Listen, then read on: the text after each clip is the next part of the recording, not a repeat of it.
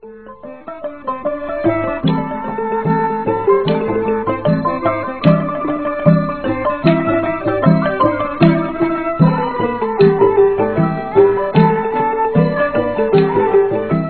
បន្តទៅនេះសូមស្វាគមន៍រាល់ការតាមដានស្ដាប់របស់វិទ្យុខ្មែរប៉ុស្តិ៍ KPR ដែលផ្សាយចេញពីទីក្រុង Long Beach រដ្ឋ California សហរដ្ឋអាមេរិក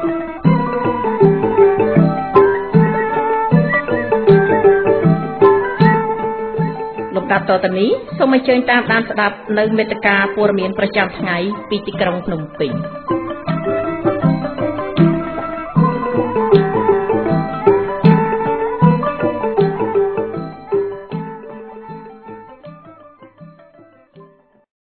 ចានាងខ្ញុំរមនីរួមជាមួយសហការីផ្សាយសូមគោរពនិងជម្រាបសួរលោកលោកស្រីអ្នកនាងកញ្ញាដែលកំពុងតាមដានស្ដាប់វិទ្យុខ្មែរប៉ុស្តិ៍ជាទីមេត្រី ចាថ្ងៃនេះជាថ្ងៃ12កើតខែកដិកឆ្នាំចសម្រិតស័កពុទ្ធសករាជ2562ត្រូវនឹងថ្ងៃអង្គារទី4ខែធ្នូ គ្រិស្តសករាជ2018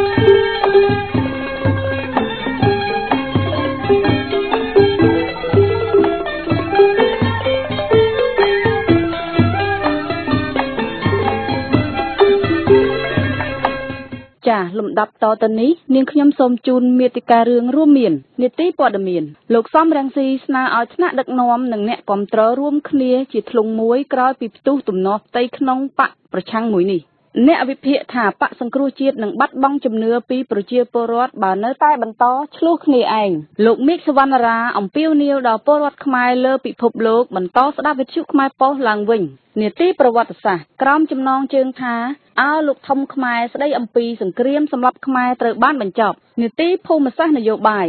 ក្រោមចំណងជើងថា សង្គ្រាមត្រជាក់ថ្មីនៅកម្ពុជាចា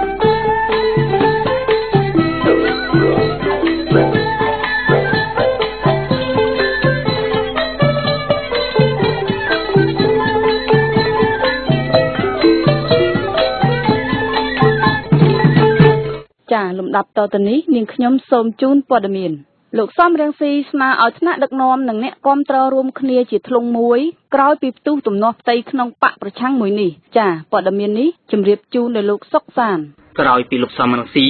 ទទួលយកតំណែងជាប្រធានស្ដីទីនៃអតីតគណៈបកសង្គ្រោះជាតិរួចមកលោកសំរងស៊ីខ្លួនឯងហាក់ខ្លាចថ្នាក់ដឹកនាំនិងអ្នកគាំទ្របែកបាក់គ្នាទើបលោកបានបង្ហោះវីដេអូឃ្លីបមួយដើម្បីប្រាប់ថ្នាក់ដឹកនាំ និងអ្នកគាំទ្រកុំឲ្យប្រទុសរាយដាក់គ្នាកុំចាញ់ការឃោសនា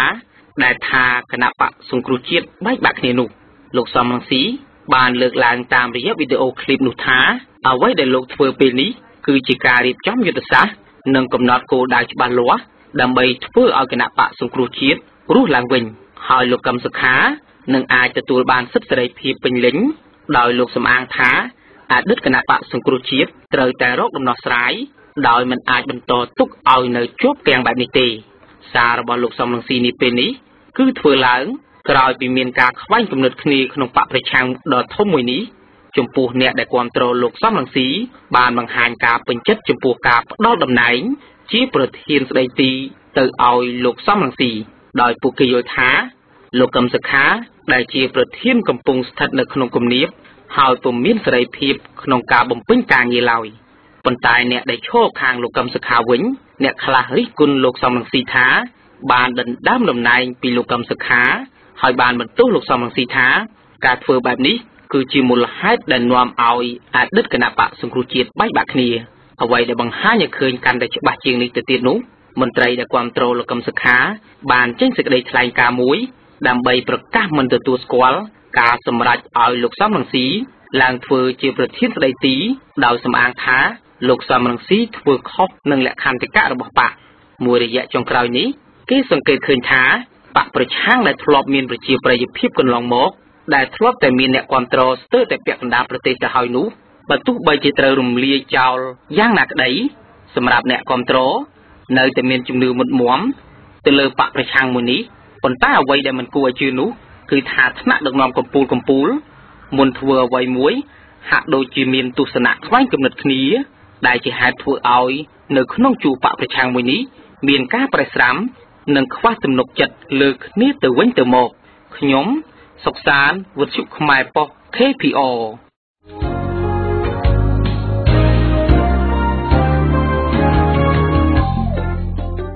ចាស់លោកអ្នកនាងជាទីមេត្រីអ្នកវិភាគយល់ថាគណៈបកសង្គ្រោះជាតិនឹងបាត់បង់ជំនឿពីអ្នកគ្រប់គ្រងនឹងឈានទៅរកភាពកំសោយដែលមិនអាចយកជ័យជំនះទៅលើដៃគូប្រកួតនាថ្ងៃអនាគតបានឡើយបើនៅតែបន្តឆ្លោះគ្នាបែបនេះចាស់ព័ត៌មាននេះជម្រាបជូនដល់លោកបញ្ញាពល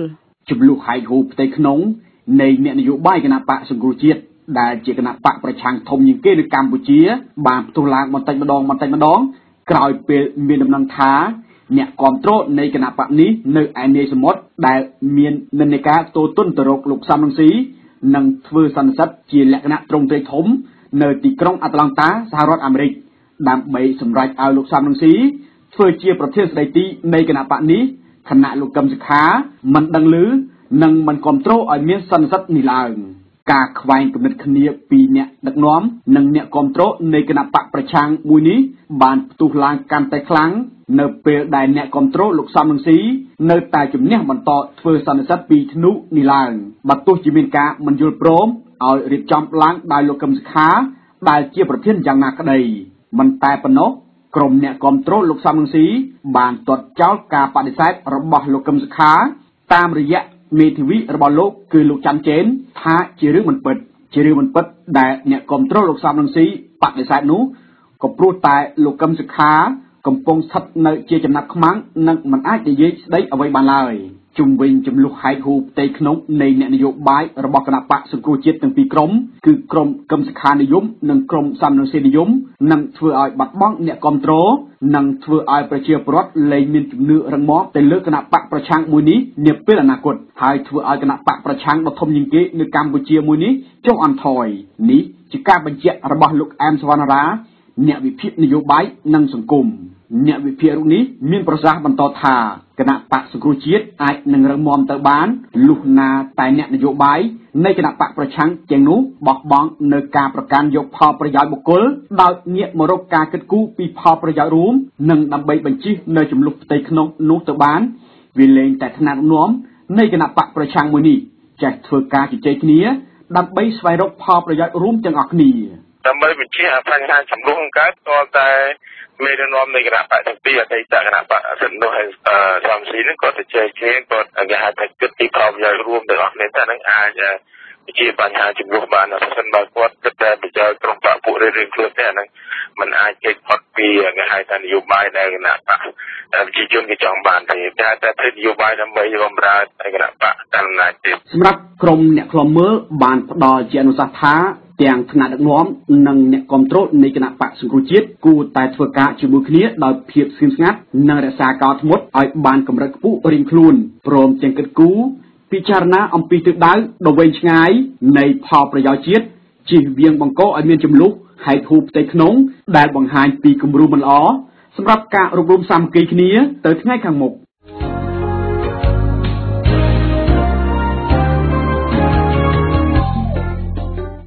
ចាស់លោកអ្នកនាងជាទីមេត្រីលោកមេឃសវណ្ណរាអំពាវនាវដល់ពលរដ្ឋខ្មែរលើពិភពលោកបន្តស្ដាប់វិទ្យុខ្មែរប៉ុស្តិ៍ឡើងវិញចាស់ព័ត៌មាននេះជម្រាបជូនដល់លោកសុកខោតៃអតីតស្ថាបនិកនៃវិទ្យុឯករាជ្យមួយថ្មីថ្មីនេះអំពាវនាវឲ្យប្រជាពលរដ្ឋខ្មែរក្នុងពិភពលោកបន្តស្ដាប់វិទ្យុខ្មែរប៉ុស្តិ៍លើបណ្ដាញសង្គម Facebook បន្តទៀតដើម្បីពង្រីកប្រាជ្ញានិងចំណេះដឹងតាមរយៈកម្មវិធីអប់រំរបស់វិទ្យុ ការអំពាវនាវរបស់លោកមេឃសវណ្ណារាអតីតស្ថាបនិកនៃវិទ្យុដ៏មានប្រជាប្រិយភាពនេះធ្វើឡើងក្នុងពិធីសម្ដែងសម្ដាលមួយជាមួយនឹងប្រជាពលរដ្ឋខ្មែរនៅទីក្រុងស៊ីដនីប្រទេសអូស្ត្រាលី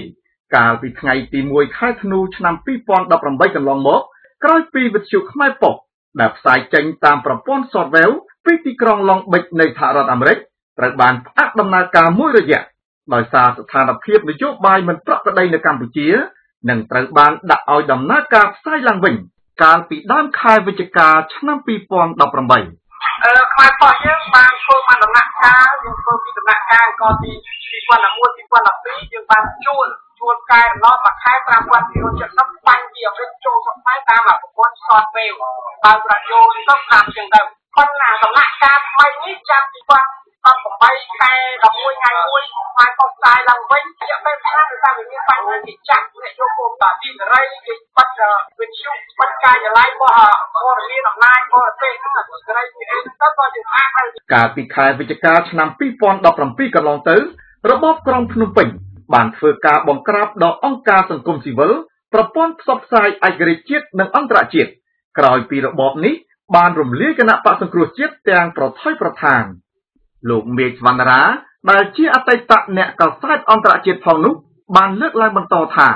ការដាក់ឲ្យដំណើរការផ្សាយឡើងវិញនៅដំណាក់កាលទី2នៃវិទ្យុខ្មែរប៉ុស្តិ៍នាពេលនេះគឺលោកចង់បញ្ជាក់ថាលោកនៅតែប្រកាន់គោលជំហរទាមទារនៅអំណាចសារព័ត៌មានមកវិញគណៈរបបក្រុងភ្នំពេញបានរឹតបន្តឹងសេរីភាពបញ្ចេញមតិយ៉ាងតឹងរឹងមួយរយៈនេះលោកបន្តថាការចុះស្ដាប់ព័ត៌មានពីវិទ្យុនេះ លោកអ្នកគ្រាន់តែចុចពាក្យថាខ្មែរប៉ុស្តិ៍រ៉ាឌីយ៉ូជាភាសាអង់គ្លេសក្នុង account ផ្ទាល់ខ្លួនតែប៉ុណ្ណោះបងប្អូនអាចទទួលបានព័ត៌មានទាន់ហេតុការណ៍របស់សង្គម ពីវិទ្យុខ្មែរប៉ុស្តិ៍ហើយយើងបន្តយុទ្ធវិធីយុទ្ធសាស្ត្រនៃអំណាចតាមព័ត៌មានខ្មែរប៉ុស្តិ៍ជាថ្មីនេះយើងប្រើតាម Facebook Facebook ហ្នឹងគឺថាវាសួរដល់បងប្អូនមិនទៅតាមរ៉ាឌីយ៉ូបើនៅវិទ្យុទូរស័ព្ទរបស់បងប្អូនមានខ្មែររ៉ាឌីយ៉ូចុចទៅមានខ្មែរប៉ុស្តិ៍នឹងក៏ដោយប៉ុន្តែបើនៅតាមសាក់ដាក់ថាខ្មែរប៉ុស្តិ៍រ៉ាឌីយ៉ូឬក៏អ្នកថាគេគេឆែកគេអីនោះឃើញខ្មែរប៉ុស្តិ៍បងប្អូនតាមសាក់គួររំលឹកមកវិញថាវិទ្យុខ្មែរប៉ុស្តិ៍បានចាប់ផ្ដើមធ្វើសកម្មភាពរបស់ខ្លួន ជាលើកដំបូងបង្អស់នៅក្នុងឆ្នាំ2010ហើយនៅចំឆ្នាំ2017វិទ្យុដ៏មានប្រជាប្រិយភាពមួយនេះត្រូវបានផ្អាកការផ្សាយមួយរយៈក្នុងជំហានផ្សព្វផ្សាយរយៈពេល77ឆ្នាំមកនេះក្រោយពីការផ្សព្វផ្សាយអប់រំពីគោលការណ៍ប្រជាធិបតេយ្យនិងបញ្ហាសិទ្ធិមនុស្សហើយណាស់វិទ្យុនេះបានផ្ដល់ជូននៅរ៉ាឌីយ៉ូជិត100000គ្រឿងដល់ប្រជាពលរដ្ឋខ្មែរក្រីក្រនៅទូទាំងប្រទេសកម្ពុជា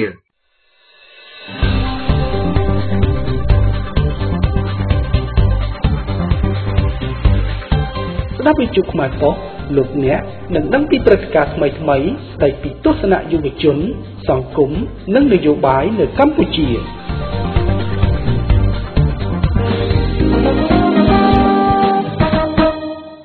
ចាស់លោកអ្នកនាងជាទីមេត្រីនេតិប្រវត្តិសាស្ត្រក្រោមចំណងជើងថា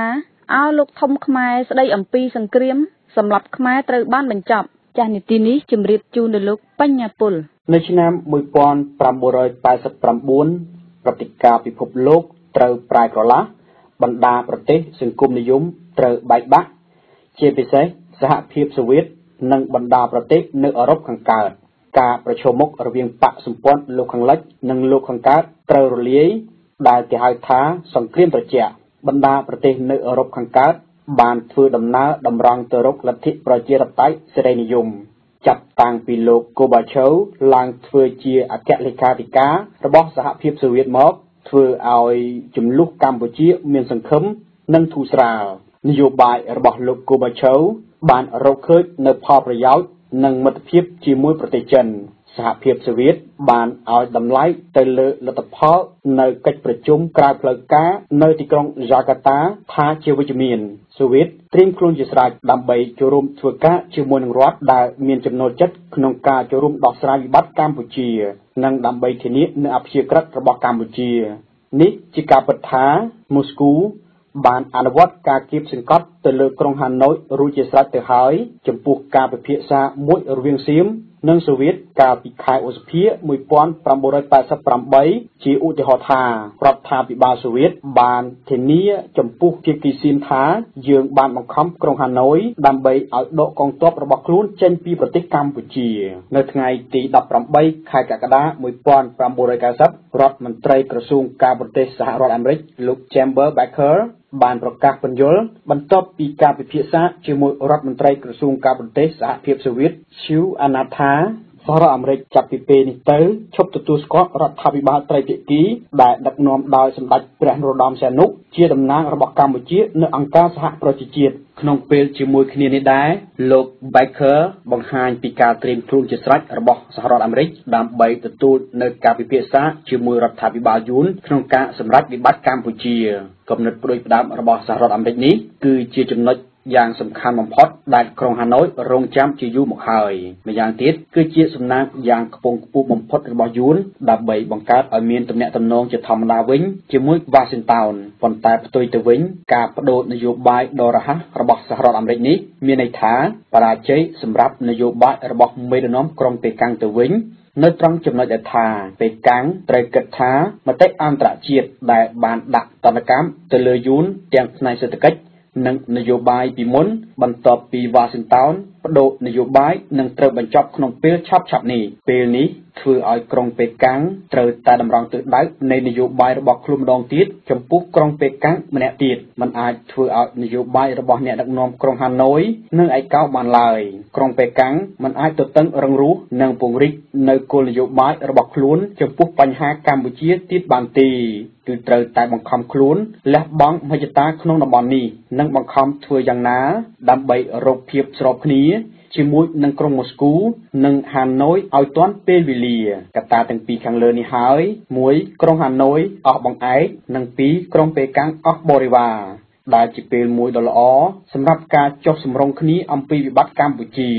សហរដ្ឋអាមេរិកដែលពីមុនបានដាក់ទណ្ឌកម្មដល់ប្រទេសយួនចង់រៀបចំធ្វើទំនាក់ទំនងឡើងវិញ តែភ្ជាប់ទៅនឹងបញ្ហាកម្ពុជា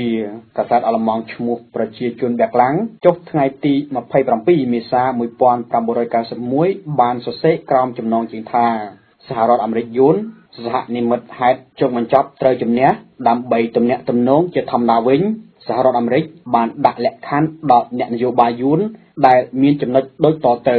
បើយួនចាប់ផ្ដើមបញ្ចប់នៅសន្ធិសញ្ញាអន្តរជាតិជាមួយប្រទេសកម្ពុជា ក្រុងវ៉ាស៊ីនតោននឹងអនុញ្ញាតឲ្យថៅកែអាមេរិកធ្វើដំណើរមកកាន់ប្រទេសយួនបើយួនទទួលស្គាល់ការឈប់បាញ់នៅកម្ពុជា ដែលរៀបចំដោយអង្គការសហប្រជាជាតិការដាក់ទណ្ឌកម្មផ្នែកសេដ្ឋកិច្ចប្រឆាំងយួននឹងបន្ថយមួយចំនួន ក្រោយមានវត្តមានរបស់អង្គការសហប្រជាជាតិក្នុងប្រទេសកម្ពុជា ក្រុងហាណូយត្រូវតែដកអ្នកជំនាញរបស់ខ្លួនទាំងអស់ចេញពីប្រទេសកម្ពុជា សហរដ្ឋអាមេរិកនិងលុបបំបាត់ទាំងស្រុងនៅការដាក់ទណ្ឌកម្មផ្នែកសេដ្ឋកិច្ចនេះក្រុងហាណូយនិងក្រុងវ៉ាស៊ីនតោនត្រូវបង្កើតអ្នកតំណាងជាផ្លូវការនិងក្រុងហាណូយត្រូវបានអនុញ្ញាតឲ្យខ្ចីប្រាក់នៅអន្តរជាតិខ្លះប្រទេសកម្ពុជា ធ្វើការបោះឆ្នោតដោយសេរីក្រោមការត្រួតពិនិត្យរបស់អង្គការសហប្រជាជាតិសហរដ្ឋអាមេរិកនឹងធ្វើទំនាក់ទំនងជាផ្លូវការធម្មតាវិញជាមួយក្រុងហាណូយនិងភ្នំពេញនៅលើគ្រប់វិស័យនិងការខ្ចីប្រាក់ដោយគ្មានកំណត់កាសែតនេះបានសរសេរបន្តទៀតថាលក្ខខណ្ឌខាងលើនេះប្រកាសជាពិបាកជូរចត់រឹងនិងឥតមេត្តាចំពោះយួនតែក្នុងពេលជាមួយគ្នានេះបានធ្វើឲ្យយួនចាប់ចិត្តចាប់អារម្មណ៍ដែរប៉ុន្តែចុងបញ្ចប់វាគ្មានផ្លូវណាដែលអ្នកនយោបាយយួនអាចជ្រើសរើសតទៅទៀតបានដែរព្រោះថាជំនួយដែលចេញមកពីបណ្ដាប្រទេសសហព័ន្ធសំខាន់សំខាន់បន្ទាប់ពីការប្រែប្រួលនយោបាយនៅអឺរ៉ុបខាងកើតនិងសហភាពសូវៀតមិនមានសង្ឃឹមទៀតឡើយលក្ខខណ្ឌខាងលើនេះបានធ្វើឲ្យយួនចំណេញយ៉ាងច្រើនទៅហើយព្រោះអីយួន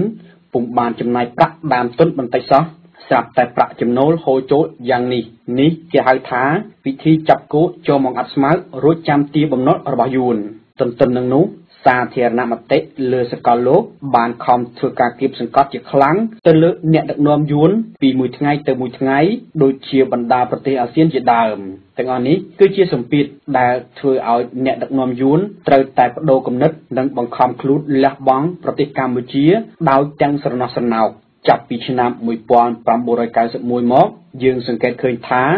ដំណោះស្រាយពីវិបត្តិកម្ពុជា កាន់តែមានសភាពធូរស្រាលឡើងជាងមុន ហើយក្នុងពេលជាមួយគ្នានោះដែរប្រទេសដែលចង់យកបញ្ហាចំនួនកម្ពុជាធ្វើជាឈ្នន់ដើម្បីឈានទៅដោះស្រាយវិបត្តិទាល់ច្រករបស់គេនោះក៏បានជោគជ័យជាបណ្ដាបណ្ដាដែរដូចជាប្រទេសយួនបន្ទាប់ពីការយល់ព្រមដកកងទ័ពរបស់ខ្លួនចេញពីប្រទេសកម្ពុជានិងទទួលយកដំណោះស្រាយខាងនយោបាយអំពីបញ្ហាកម្ពុជាប្រទេសជឿនលឿននៅអាស៊ីនិងអឺរ៉ុប បានបង្កើតការជួយដល់សេដ្ឋកិច្ចយួននិងការដាក់ទុនទំនាក់ទំនងជាមួយប៉េកាំងត្រូវបានដោះស្រាយមកជាធម្មតាវិញ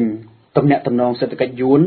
ត្រូវបានសម្រេចក្នុងការបដូរទិសដៅចូលមកបណ្ដាប្រទេសអាស៊ាន ក្រុងហាណូយត្រូវមានទំនាក់ទំនងជាធម្មតាជាមួយវ៉ាស៊ីនតោនប្រទេសចិនទំនាក់ទំនងរវាងប៉េកាំងនិងក្រុងហាណូយ ត្រូវបានសម្រួលមកកាន់តែល្អប្រសើរ ចិនទៅរកបណ្ដាប្រទេសអាស៊ានក៏ធូរស្រាល ប្រទេសសូវៀតភាពធូរស្រាលក្នុងទំនាក់ទំនងទៅរកក្រុងប៉េកាំង និងវ៉ាស៊ីនតោនក៏កាន់តែប្រសើរឡើងជាលំដាប់ប្រទេសសូវៀតចិនសម្រាប់ប្រទេសទាំងពីរមានសារៈសំខាន់ណាស់គឺការប្រឈមមុខរវាងកងទ័ពនៃមហាអំណាចទាំងពីរនៅតំបន់ខាងជើងនៃប្រទេសចិនត្រូវបានកាត់បន្ថយ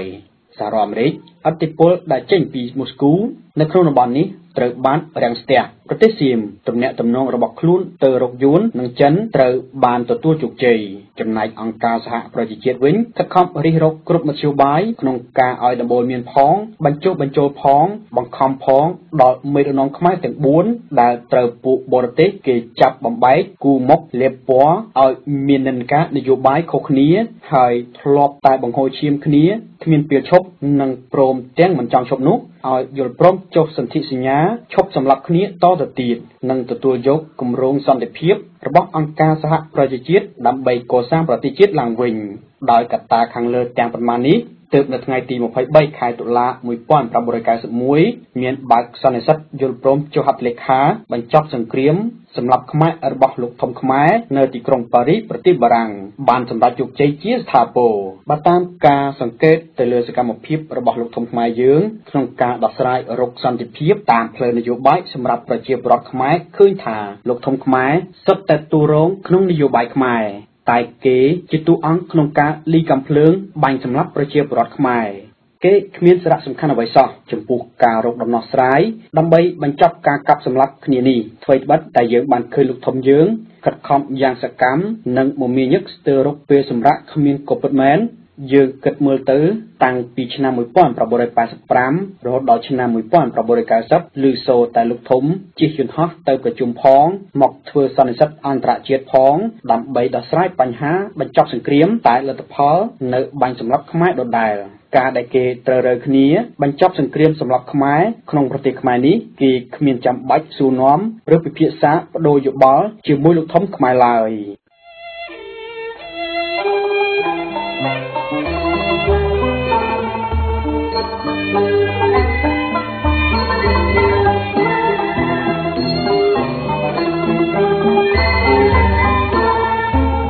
មជូននេតិភូមិសាស្ត្រនយោបាយ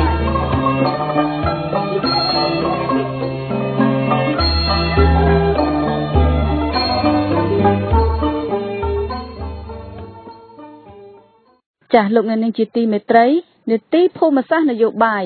ក្រោមប្រធានបទសង្គ្រាមត្រជាក់ថ្មីនៅកម្ពុជា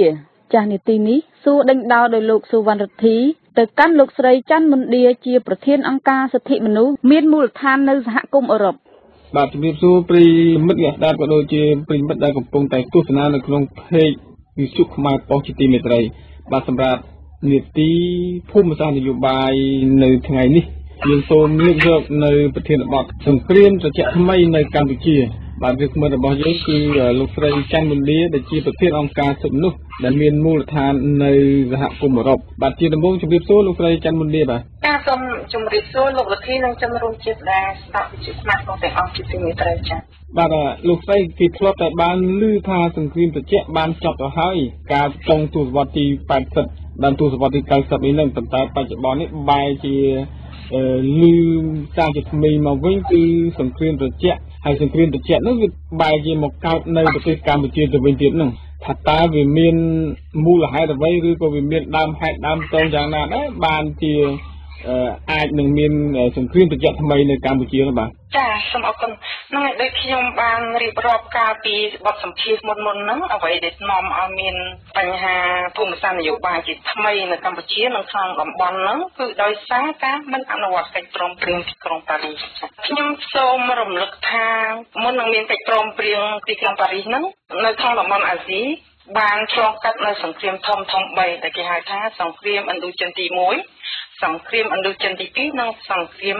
ឥណ្ឌូចិនទី3ដែលបានអូសបន្លាយអស់រយៈពេលប្រហែលជា50ឆ្នាំសំទោសមុននឹងឈានទៅរកកិច្ចព្រមព្រៀងទីក្រុងប៉ារីស23ដុល្លារសង្គ្រាមឥណ្ឌូចិនទី1វាចាប់ផ្ដើមនៅឆ្នាំ1945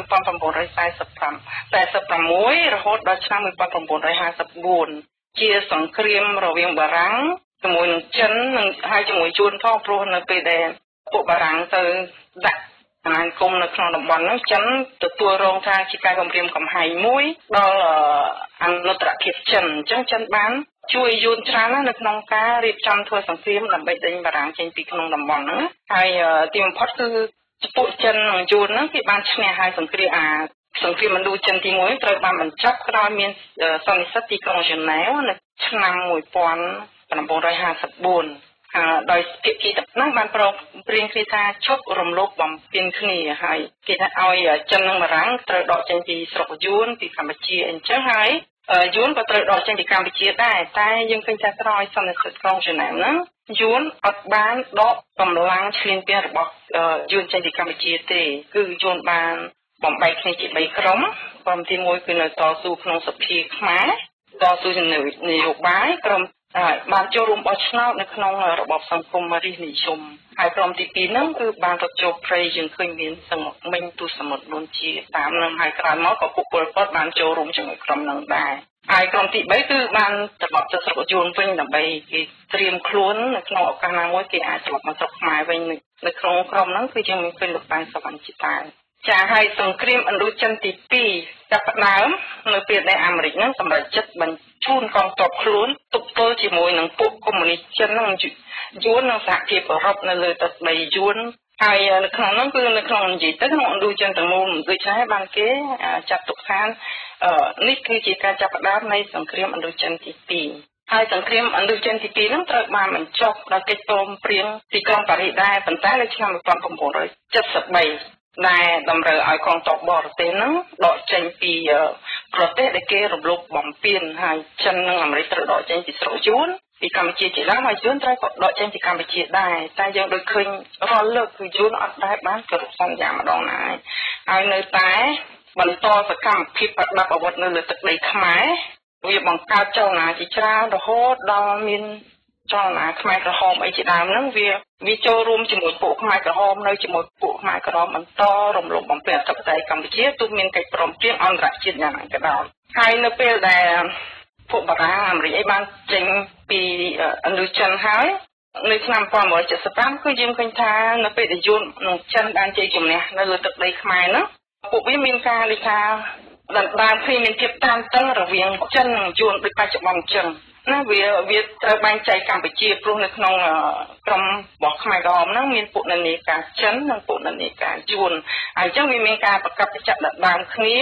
ក្រោយពីបានជាជំនះហើយត្រូវកាប់បែងចែកគ្នាហើយដោយក្រោយមកដោយសារភាពតានតឹងខ្លាំងពេកយួនបានស្នើសុំទៅខាងបកសម្ព័ន្ធវ៉ាសូវីដែលដឹកនាំដោយសហភាពសូវៀតហ្នឹងដើម្បីឲ្យចូលមកវាយពួកចិនខាងក្រមខ្មែរក្រហមជំចិនពលពតហ្នឹងចេញពីកម្ពុជាមុនពេលដែលវា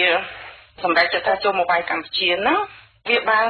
ធ្វើកិច្ចការទូតមួយចំនួនថាពួកខ្មែរក្រហមថាបានរំលោភបំពានវាបានជាវាវាយចូលកម្ពុជាប៉ុន្តែនៅពេលដែលវាវាយចូលកម្ពុជានោះហើយបានគេឲ្យឈ្មោះសង្គ្រាមនោះហៅថាសង្គ្រាមឥណ្ឌូចិនទី3ពីយើងមើលឃើញថានៅពេលដែលយួនចូលឈ្លានពានកម្ពុជានៅឆ្នាំ1979ហ្នឹងយើងឃើញថាយួនវាប្រហើនខ្លាំងព្រោះនៅក្នុងពិភពលោកនេះអត់មានប្រទេសណាអាចមានសិទ្ធិ ប្រើកម្លាំងយោធាទៅវាយប្រហារប្រទេសមួយទៀតបានទេសូម្បីអាមេរិកក៏ដោយមុននឹងទៅចង់វាយប្រទេសណាគេសិតតាស្នើទៅអង្គការសហជីវជាតិ ខាងសន្តិសុខអង្គការប្រជាជាតិដើម្បីសុំស្នើសុំថាគេសុំសិទ្ធិធ្វើត្រូវទៅវាយប្រទេសណាមួយដោយសារហេតុផលហេតុផលនោះប៉ុន្តែយើងឃើញថាជួនគឺប្រហែលមែនតើពួកវាអានថាមានសុវិននឹងការចំណន់ហ្នឹងអញ្ចឹងបានវាចូលមកកម្ពុជា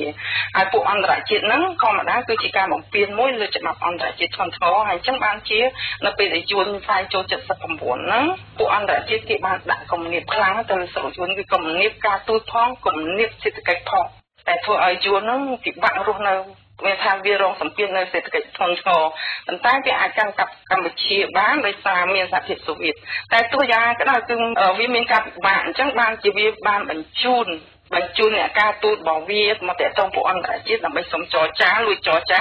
ប៉ុន្តែដោយសារលក្ខខណ្ឌអត់សម្បកបហើយសហភាពសូវៀតគេនៅខ្លាំងដែរក៏អត់មានការចរចារហូតអូម៉ាឡៃរហូតដល់ឆ្នាំប្រហែលជាឆ្នាំក្នុងឆ្នាំ1980 384ឡើងទៅបានមានការចរចាចរចាជាច្រើនឆ្នាំរវាងពួកខាងយួនហ្នឹងដែលគេសុំឲ្យមកចរចាហ្នឹងហើយនឹងពួកតស៊ូដែលមានការអន្តរាគមពីខាងពួកអន្តរជាតិផ្សេងៗដើម្បីមានការចរចាសន្តិភាពនឹងហើយទីបំផុតនៅពេលដែលសហភាពសូវៀតដួលរំលំទៅបានកិច្ចព្រមព្រៀងហ្នឹងចេញបានហើយនៅក្នុងកិច្ចព្រមព្រៀងហ្នឹងគឺជាកិច្ចព្រមព្រៀងមួយធំនៅលោកប្រធានាធិបតីបារាំងបានប្រកាសថាវាជាកិច្ចព្រមព្រៀងមួយដែលមិនដែលមានសោះ នៅក្នុងប្រវត្តិសាស្ត្រនៃអង្គការសហប្រជាជាតិតែជាកិច្ចព្រមព្រៀងមួយសំខាន់មែនទែនហើយដោយសារមានប្រទេសពាក់ព័ន្ធសិតតែប្រទេសធំធំហើយនិងប្រទេសផ្សេងផ្សេងមួយចំនួនទៀតនៅក្នុងតំបន់ហ្នឹងអញ្ចឹងនេះគឺ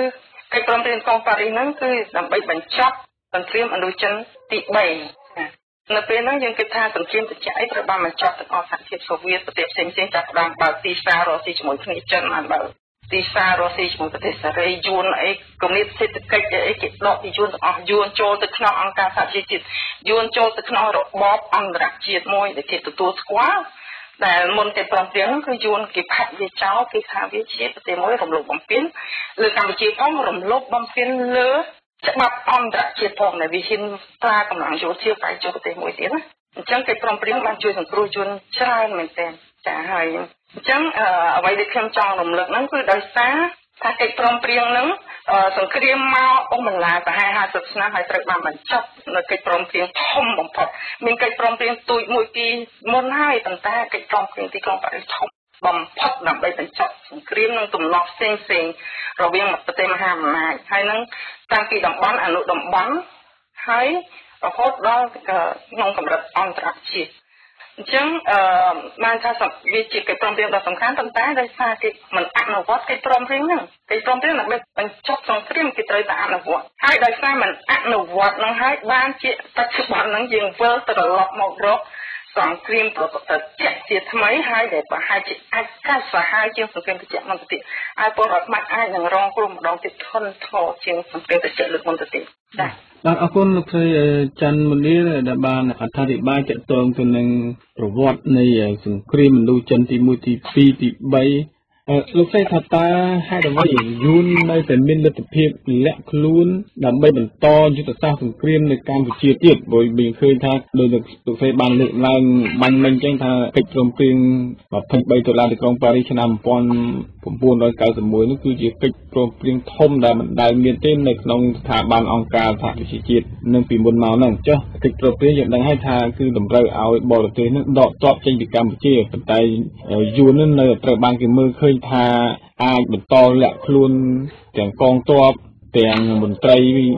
គេហៅថាជំនាញការយួននៅក្នុងរដ្ឋាភិបាលកាលនាសម័យនោះថាតើហេតុអ្វីបានជាយួននៅតែមានលទ្ធភាពបាទចាដូចខ្ញុំបាននិយាយនៅក្នុងបទសម្ភាសន៍មុនដែរហេតុដែលយួនអាចបន្តនៅគ្រប់គ្រងកម្ពុជាបានដោយសារ តែពួកអន្តរជាតិហ្នឹងដែលបានមកធ្វើការអនុវត្តកិច្ចព្រមព្រៀងទីក្រុងប៉ារីសចាប់ពីឆ្នាំ91មករហូតដល់94ហ្នឹងมันបានគោរពកិច្ចព្រមព្រៀងសំខាន់មួយ ដែលបានចែងថាត្រូវមានការដកកម្លាំងឈ្លានពានចេញពីកម្ពុជាមុននឹងរៀបចំការបោះឆ្នោតដោយសារគេអត់ធ្វើអានឹងគេហើយគេបិទភ្នែកឲ្យពួកយួនហ្នឹងពួកអាណានិគមយួនហ្នឹង มันបានដកកម្លាំងយោធាចេញពីកម្ពុជាហើយពួកអាណានិគមផ្សេងៗវាបានខ្លាយខ្លួនទៅជាមន្ត្រីដឹកនាំនៅក្នុងរដ្ឋាភិបាលក្តីនៅក្នុងកងកម្លាំងស្ដាប់អាវុធក្តីនៅក្នុងប៉ូលីទីហ៊ាននេះគឺគ្រប់កម្រិតទាំងអស់គ្នាបន្តដាក់អាណានិគមបែបថ្មីមួយមកលើកម្ពុជាគេគ្រាន់តែដូរឈ្មោះពីយួនទៅជាខ្មែរហើយបន្តគ្រប់គ្រងដែរដូច្នេះមកថាដោយសារតែការមិនអនុវត្តកិច្ចព្រមព្រៀងសំខាន់ហ្នឹងហើយមិនមែនថាភាគីខ្មែរអត់បានតវ៉ាដូចខ្ញុំនិយាយអញ្ចឹងការលើកមុនគឺភាគី ខាងលោកតាសុនសានបានតវ៉ាក្រុមខ្មែរក្រហមបានធ្វើប៉ុន្តែខាងអន្តៈហ្នឹងធ្វើមិនដឹងមិនលឺហើយបន្តឲ្យយួនធ្វើអ្វីតាមចិត្តអញ្ចឹងនៅពេលដែលយួនអាចគ្រប់គ្រងបានគេបានរៀបចំការប្លន់ធនធានសេដ្ឋកិច្ចគ្រប់យ៉ាងពីខ្មែរហើយបន្តគ្រប់គ្រង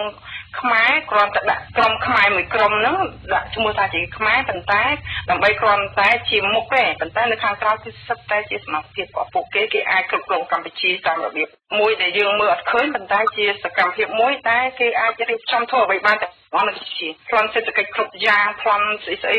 ហើយគេប្រើកម្លាំងនៃគេដាក់ពីលើហ្នឹងឲ្យជន់លើក្បាលខ្មែរដើម្បីកុំឲ្យខ្មែរតវ៉ាអីបានចឹងដូច្នេះបានគេថាគេដកហូតសិទ្ធិសេរីភាពផងគេដកហូតមកជោបាយដើម្បីរស់ហើយមកជោបាយដើម្បីប្រជុំជាមួយពួកអាណានិគមនៅកម្ពុជានឹងជាជាអាណានិគមបែបថ្មីនឹងហើយដោយសារការរៀបចំប្លន់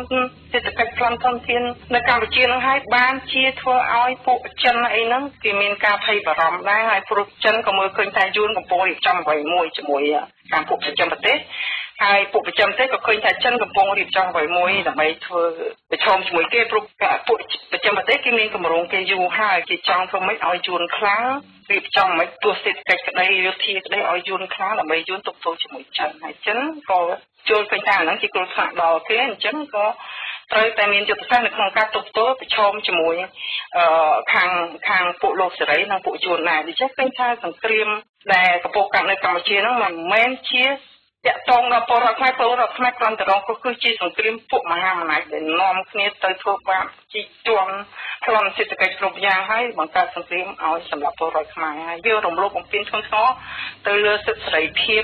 ទៅលើជីវិតដែលតាក់ទងនៅក្នុងអ្វីដែល តុលាការប្រតិកម្មបានអន្តរជាតិបានចែកថាវាជាឧក្រិដ្ឋកម្មបន្លាយពូជសាសន៍ជាឧក្រិដ្ឋកម្មសង្គ្រាមជាឧក្រិដ្ឋកម្មប្រឆាំងមនុស្សជាតិទាំងអស់ហ្នឹងគឺជាសុទ្ធតែជាឧក្រិដ្ឋកម្មធំធំដែលត្រូវបានស្ដោទោប៉ុន្តែពួកអន្តរជាតិហ្នឹងកំពុងតែបង្កើតបានធ្វើឲ្យការជំនាន់សង្គ្រាមត្រជាក់មុនហើយឥឡូវបន្តធ្វើចឹងទៀតនៅកម្ពុជាលោកស្រីច័ន្ទវាថាតើមកដល់ពេលនេះ ប្រទេសដែលបានចូលរួមចុះហត្ថលេខាទទួលដឹងឮរួមទាំងមហាអំណាចទាំង5ផងហ្នឹង តែលោកស្រីបានមើលឃើញថាមានប្រទេសណាមួយទេក្នុងចំណោម18ប្រទេសដែលកំពុងតែធ្វើយ៉ាងណាឲ្យមានការគោរពកិច្ចព្រមព្រៀង23ដុល្លារឡើងវិញនោះបាទចាយើងឃើញថាកន្លងមកកិច្ចព្រមព្រៀងនោះសិតតែត្រូវបានរំលោភបំពានគ្រប់ភាគីទាំងនោះមិនថាភាគីអន្តរជាតិមិនថាប្រទេសមហាអំណាចទាំង5មិនថាភាគីយួនភាគីចិនហើយភាគីខ្មែរខ្លួនឯងហ្នឹងទាំងខាងក្រមលោកហ៊ុនសែនទាំងខាងក្រមប្រឆាំង សុទ្ធតែបានរំលោភបំពានកិច្ចព្រមព្រៀងក្រុងប៉ារីសតាក់ទងរឿងខាងគណៈបកប្រឆាំងគេថាគេចង់ឲ្យមានការអនុវត្តកិច្ចព្រមព្រៀងប៉ុន្តែគេអត់បានធ្វើការមូលដ្ឋាននៃការតស៊ូរបស់គេគោលការណ៍របស់គេលើមូលដ្ឋានកិច្ចព្រមព្រៀងក្រុងប៉ារីសគេចូលរួមបោះឆ្នោតនៅក្នុងលក្ខខណ្ឌមួយដែលរំលោភបំពាន លើកិច្ចព្រមព្រៀងទីក្រុងប៉ារីសអត់បានគ្រប់ទេមិនចឹងការបោះឆ្នោតបែបហ្នឹងវាជាយន្តការអាណានិគមយួនហើយគេគេអត់បានខកខ្វល់ទៅហ្នឹងគេចូលរួមបោះឆ្នោតដោយបានរំលោភបំពានលើកិច្ចព្រមព្រៀងទីក្រុងប៉ារីសផងហើយអនុវត្តយន្តការអាណានិគមចិននឹងយួនមកលើកម្ពុជាហើយដែលទាំងអស់ហ្នឹងដែលនាំឲ្យគ្រោះថ្នាក់ដល់ថ្ងៃនេះហើយអត់មានច្រកចេញការពិតយើងមានច្រកចេញនៅតែលើបពប្រឆាំងនៃពលរដ្ឋខ្មែរដែលចង់បានការ សិទ្ធិសេរីភាពដែលចង់បានឃើញលទ្ធិជាតិធិបតេយ្យនឹងប៉ុន្តែដោយសារខាងបពប្រឆាំងគេអត់ធ្វើគេនិយាយតែមាត់ប៉ុន្តែអត់មានគោលការណ៍អ្វីទាំងអស់ហើយថែមទាំងរួមគ្នារំលោភបំពានជាង20ឆ្នាំហើយដល់កិច្ចព្រមព្រៀងក្នុងប៉ារីសហើយឥឡូវហ្នឹងដោយសារមានបញ្ហាអញ្ចឹងយើងឃើញថាខាងពួកប្រទេសធំធំមួយចំនួនក៏ធ្លាប់បាននិយាយដែរទៀមទាអនុវត្តកិច្ចព្រមព្រៀងអនុវត្តកិច្ចព្រមព្រៀងលើនិយាយតែមាត់ទេប៉ុន្តែនៅពេលដែលគេនិយាយអញ្ចឹងគេបានរំលោភបំពានរួចទៅហើយ ទាំងខាងពួកសភានៅអឺរ៉ុបក្តីពួកណាក្តីដែលបានចូលរួមទទួលស្គាល់របបហ៊ុនសែននៃរំលោភបំពានហ្នឹងហើយគាត់និយាយតែមាត់រំលោភបំពានចង់អនុវត្តប៉ុន្តែអត់មានយន្តការណាមួយអត់មានគោរពលក្ខខណ្ឌអ្វីមួយដែលបានចែងក្នុងកិច្ចព្រមព្រៀងកុំប៉ារីនិយាយទៅគេនិយាយតែមាត់សុទ្ធហើយឥឡូវហ្នឹងដោយសារមានបញ្ហាធ្ងន់ធ្ងរយើងឃើញសហរដ្ឋអាមេរិក គាត់បានធ្វើច្បាប់មួយតាំងពីមានការរំលាយគណៈបកប្រឆាំងចាក់លោកកឹមសុខាដាក់គុកជាតាមអំនឹងហើយបិទសិទ្ធិអង្គការអីមួយចំនួនហ្នឹងគេឃើញថាខាងចិនហ្នឹងវាយប្រហារខ្លាំងហើយទាំងអស់ហ្នឹងគឺជាសញ្ញាមួយនៃការវាយប្រហាររបស់ចិនអញ្ចឹងដើម្បីទប់ទល់ជាមួយចិនវិញគេបានធ្វើច្បាប់មួយដែលគេហៅថា HO 5754ដែលត្រូវបានសភា សហរដ្ឋអាមេរិកហ្នឹងអនុម័តនៅថ្ងៃទី6ខែកក្កដា26ចាខែកសំទោសឆ្នាំ2018ហើយគេក៏បានបញ្ជូនទៅព្រឹទ្ធសភាហើយក៏ព្រឹទ្ធសភាហ្នឹងក៏បានអនុម័តអនុម័តច្បាប់នឹងហើយក្រុមឈ្មោះថា S 2412ហើយបានអនុម័តថ្ងៃ2ខែសីហា2018ហើយក្រោយពីគេបានអានសេចក្តីសម្រេចនឹងហើយគេបាន បញ្ជូនទៅឲ្យខាងក្រសួងការបរទេសផងដើម្បីបញ្ជូនវាទៅទៀតទៅដល់ប្រធានាធិបតីឲ្យគេឲ្យប្រធានាធិបតីនឹងចុះហត្ថលេខាដើម្បីឲ្យច្បាប់ហ្នឹងមានការអនុម័តហើយអ្វីដែលគេទាមទារនៅក្នុងច្បាប់ HR 5754ហើយនិង S20 គុណ12ហ្នឹង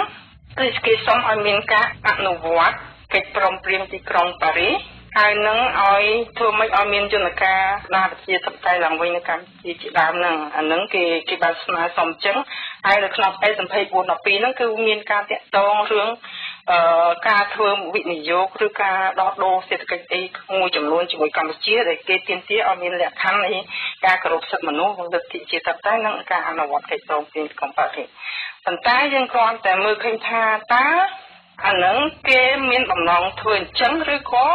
មានបំណងចង់មានការអនុវត្តអញ្ចឹងអនុវត្តកិច្ចព្រមព្រៀងមានជាតបតែនៅកម្ពុជាឬក៏វាគ្រាន់តែជាអាវុធមួយនៅក្នុងសង្គ្រាមវាជាអាវុធមួយនិយាយទៅដើម្បីវាប្រហារទៅដៃគូម្ខាងទៀតគឺជាជីចិនដែលគេមើលឃើញថាបានរំលោភបំពាននៅកម្ពុជា ហើយថែមទាំងមិនមានកម្រងនិយាយទៅមិនថាមានកម្រងទេបានធ្វើរួចទៅហើយអឺមានបោះមូលដ្ឋានយោធានៅកម្ពុជា យើងដឹងហើយគឺថាខាងអាមេរិកហ្នឹងគេមានអ្នកយកការរបស់គេសម្រាប់ណាដូច្នេះអ្វីដែលចិនធ្វើនៅកម្ពុជាលាក់អត់ជឿទេដូច្នេះនៅពេលដែលគេនិយាយអញ្ចឹងគេធ្វើច្បាប់អញ្ចឹងបានថារឿងហ្នឹងវាធ្ងន់ធ្ងរជាពិសេសរហូតដល់អនុអនុប្រធាននាយកបដី គាត់បានផ្ញើសារផ្ញើអីទៅខាងលោកហ៊ុនសែនហើយខាង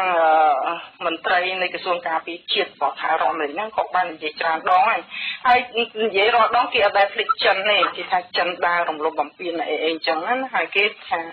រំលោភបំពានប្រទេសក្រីក្រស្អីអញ្ចឹងទៅរំលោភសិទ្ធិមនុស្សរំលោភប្រជាធិបតេយ្យអញ្ចឹងគេយកហ្នឹងជាអាវុធមួយដើម្បីវាយតបទៅចិន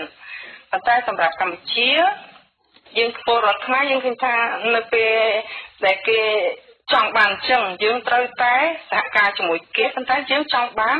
មិនមែនសម្រាប់គ្រាន់ជាអាវុធនៅក្នុងសង្គ្រាមទេប៉ុន្តែយើងចង់ឲ្យមានការអនុវត្តពិតប្រាកដចំណុចហ្នឹងហើយដែលពលរដ្ឋខ្មែរត្រូវតែយល់ឲ្យច្បាស់នៅក្នុងយុទ្ធសាស្ត្ររបស់សង្គ្រាមរបស់ប្រទេសមហាអំណាចហ្នឹងត្រូវតែមានព័ត៌មានច្បាស់លាស់ហើយត្រូវមានជាសាស្ត្រយុទ្ធសាស្ត្រខ្ពស់នៅក្នុងការ